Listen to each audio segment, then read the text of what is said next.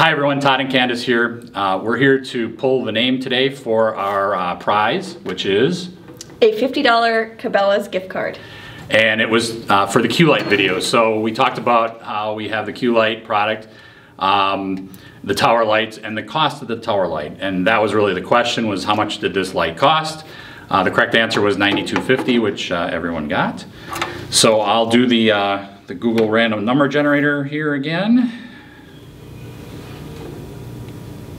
Number 25. All right, Samuel from Entrust Manufacturing. Awesome. Well, congratulations, Samuel. Um, we'll reach out and get you the gift card and um, keep watching our straight to the point videos for more chances to win prizes. Thanks. Thank you.